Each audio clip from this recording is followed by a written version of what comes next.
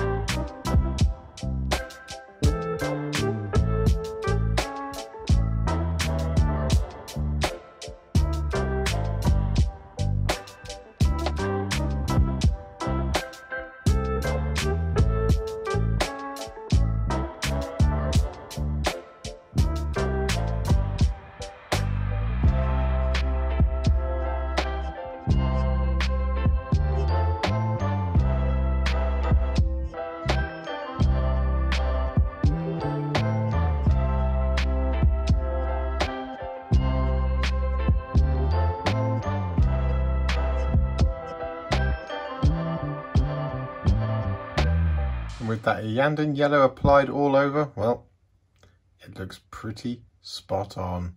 I really, really, really like that. So what we are going to do now is we're going to colour in a few more base coats. Rather than doing any of the highlights just yet, we're going to get the rest of the base coats done first. And the colour that we're going to use first is Flesh Tearers Red. And we're going to use this on the Aquila on his chest. Now we want to be really, really careful here so as not to get this Flesh Tearers Red on all that lovely yellow that we've just painted. Just take your time and be really careful.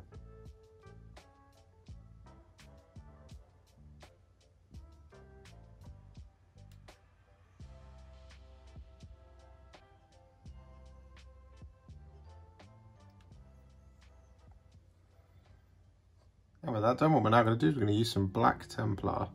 I'm going to use this paint in all of the soft details on all of the soft joints in his armor. So again, you just want to be really careful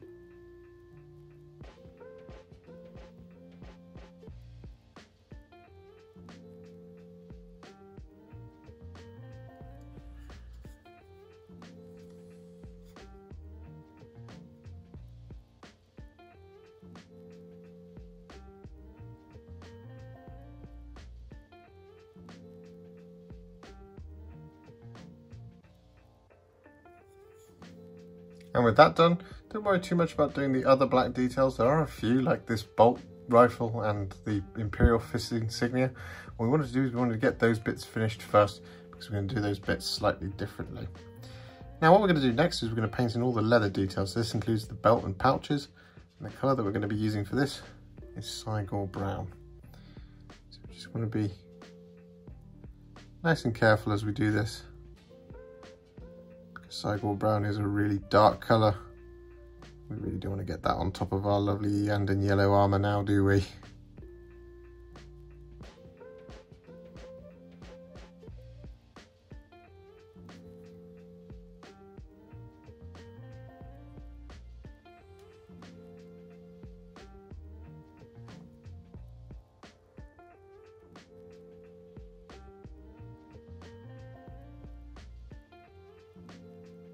And with that done, what we now want to do is we're going to use some Corax White.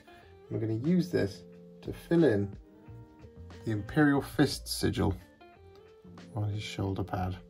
Now I want to do this all the way around the fist because this is always white rather than a Wraithbone. If we put Apothecary White over the top, we're just going to get a slightly dark grey bone colour. We just want to use this like this just to make that nice and white and so that when we come to painting in the detail, we don't then have to kind of pick around that.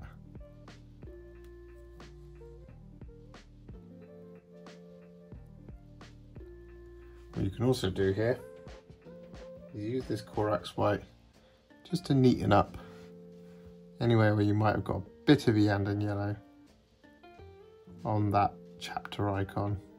Like I got a little bit there on the outside rim and around here on the bottom as well. And so with that Corax white applied, it's now time to paint the rest of the black details. And these are going to be the bolt rifle casing, the shoulder pad trim, and the Imperial Fist icon. Now the first colour we're going to use is Basilicanum Grey. And this is because we want these to be a really dark, imposing, cold black uh, in real stark contrast to the bright yellow of the Imperial Fist's armour. So this Basilicanum Grey is going to act as our little pre-shade to that, rather than just doing the Black Templar straight on. And the reason we didn't do that on the little soft joints is because, well, we want those to have a little bit more softness in the colour. And when you just use Black Templar straight out the pot, it gives you a nice, really kind of soft pre-highlighted black as it were. Whereas these guys, we want them to be really kind of, as I say, a, a real stark, imposing contrast to the black, uh, to the yellow, I should say. So we're going to get this Basilicanum Grey all over these details, like I'm doing here. Again, just being very careful and being very methodical because we want this to be a reasonably smooth coat all over. Like this. Always want to kind of finish a section before you move on to another one. But as I say, the areas that are going to be black are the bolt rifle casing, the trim of the shoulder pads, and that Imperial Fists chapter icon. And with that Basilicanum Grey all applied, what we're now going to do is we're going to use some Black Templar over the top of those Basilicanum Grey areas. Just like this. As you can see, it's already giving us a much darker colour and quality if we were to just use it straight out of the pot.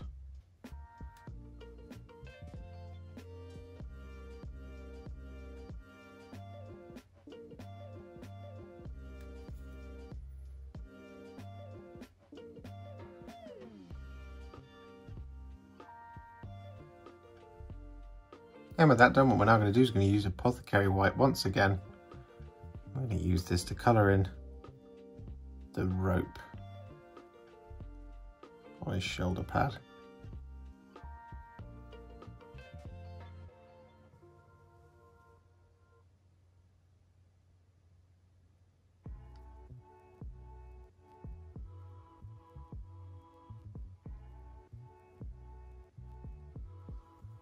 And with that done, what we're now going to do is we're going to use some thinned down Iron Warriors.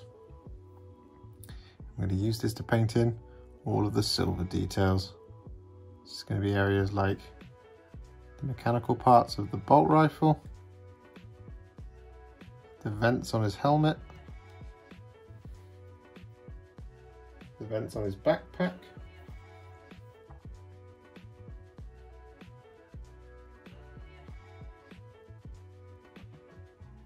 and any other areas that you want to be silver.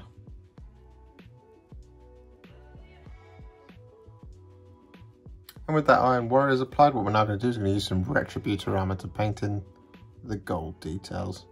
Now we've got this little winged skull here on his bolt rifle. We've also got a little Aquila on this chap hanging off his rope here. And with that done, what we're now going to do is going to use some Basilicanum Grey to shade all of that silver.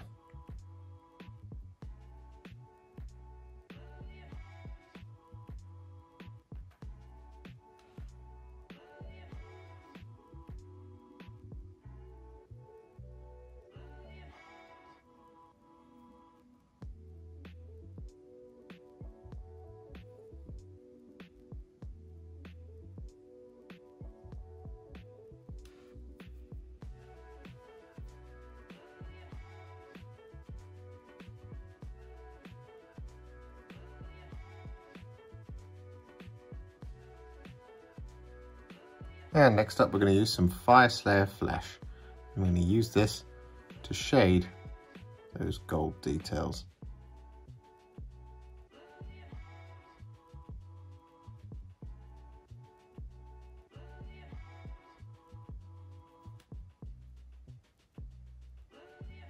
And so with that done, well, all of our base coats are now complete. So what we are going to do is we are going to start the long process of highlighting. Now, what we're going to do first is we're going to highlight all of that yellow armor and the color that we're going to be using is some thinned down phalanx yellow. And what we want to do is we want to take a small brush. I'm using a Wargamer Insane Detail brush from Army Painter. And we're just going to start picking out all of those edges around the model. And what you may notice is that because we've used contrast paint, the majority of this work has actually already sort of been done for us. But what we want to do is we're basically just doing this now to strengthen out any of those highlights make them a really strong yellow. So you don't have to do all of the edges if you don't want to. You can skip straight to the next step to just do the spot highlight. But I'm just going to do this now just to add a little bit of strength to all of those edges. And with those phalanx yellow highlights done, what we're now going to do is we're going to use some Dorn yellow. We're going to use this as our spot highlight. So we just want to place a small amount of this Dorn yellow just on the sharpest corners of our armour. Just to give it that little impression of the light catching, like that. So you just want to go around picking out all these little sharp edges. So just these little corners.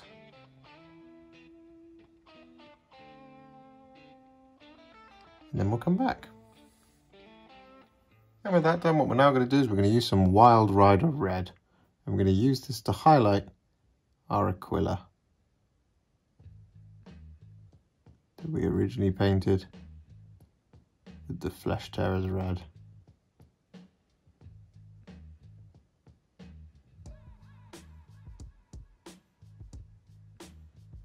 Like this. And with that Wild Rider Red applied, what we want to do is take teeny tiny amount of Fire Dragon Bright. We just want to use this on the absolute tips.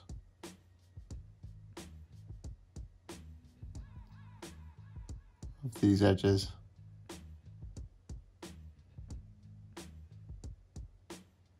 Just like that. And with that done, our Aquila is painted. So what we're going to do is we're going to highlight all of the black details. And the colour that we're going to be using some thinned down Dawnstone. And what we want to do is basically just want to pick out all of the edges on the shoulder pads and on the gun and on the chapter iconography on his shoulder. What you can also do is pick out the little ribs in the soft joints in between his armor plates. You don't have to if you don't want to. It looks pretty effective without them anyway. The highlight that the contrast has provided is quite subtle. It's almost quite appropriate for those little ribbed details as they are. And with that Dawnstone applied, what we now want to do is we're going to use a small amount of Administratum Grey. We just want to use this as a little spot highlight on like the corners of the black just to give it the impression of the light catching off that armor like that.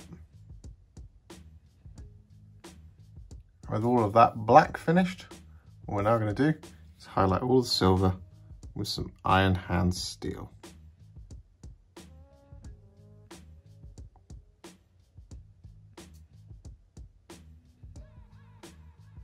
Picking out all of the edges.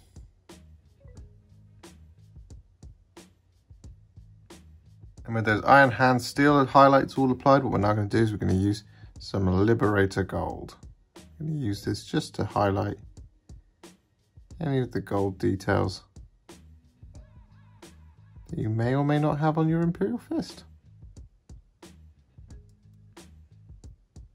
And with that Liberator Gold applied, what we're going to do is going to use some Corax White just to re-highlight the strands of the rope.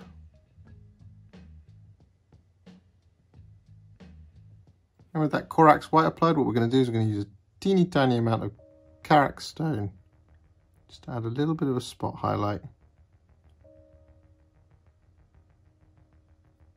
To these leather details. Don't want this to be a completely full highlight because you want it to be quite an imposing darker leather. You can see just a small amount of Karak stone there on the tip, on the corner of the pouch. Just gives it a little bit of a shine.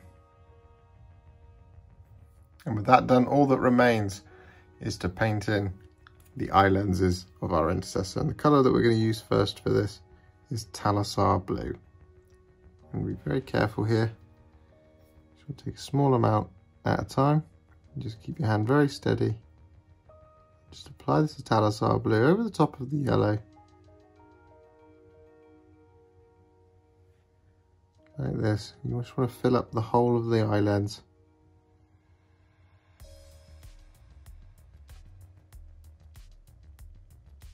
With that Talassar blue applied, what you want to do is you want to use some Baharroth blue. You want to just add this to the front third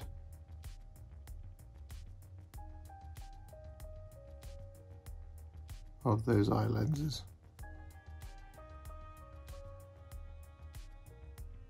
And just to finish off those eye lenses, we're going to add a little dot of Corax white in the top corner. Like that. And so with that done, our Imperial Fist is now finished and he is really, really, really cool. So what we're going to do now is we're going to do the basing and the colour I'm going to use first for this is Stirland Battlemire.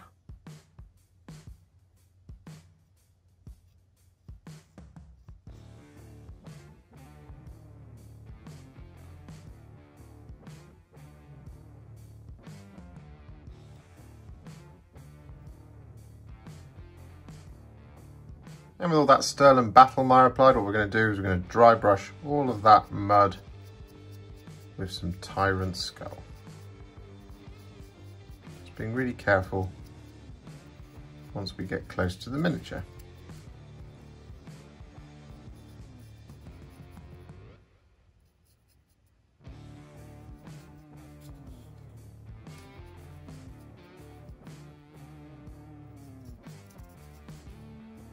I've added a tuft to the base and so what we're going to do now is going to just take a small amount of Valhallan Blizzard. We just want to kind of almost dry brush this across with our texture spreader. We don't want to kind of layer this in a thick, snowy drift. We just want to, almost like the, the hint of snow, we can kind of just dab it into the grass as well like that to make it look like the grass is just it's like it's a fresh snowfall effectively using small amounts and as I say just kind of almost just like scraping it rather than blobbing it across the base like this and with that Valhallan Blizzard applied what we're now going to do is going to finish off the rim of the base to complete the model and the colour that we're going to use is some thinned down Corvus Black. It might take a couple of coats, but it's worth it in the end. And with that base complete, our mighty Son of Dorn is now finished, ready to bolster the defences of the Imperium wherever he may tread. I mean, yeah, it's such a fantastic scheme, the Imperial Fist. It's just so unique and bright and well, it's just it's just stunning to look at. I I I fully envy anybody who has full armies of these fellas because it is just such a labor of love before contrast paints and the contrast paints make it so much easier to do and i'm loving the fact that we see so many imperial fists armies around these days it's it's it brings a nice warm glow to my heart and a tear to my eye if you enjoyed this one and you'd like to support me further like these legends on the screen, you can do so. Head to patreon.com forward slash warhipster or head to ko-fi.com forward slash warhipster. Don't forget to like, comment, subscribe, do all of that good stuff. And if you'd like to stay up to date, make sure to click the bell icon. Thank you so much for watching and I'll see you in the next one.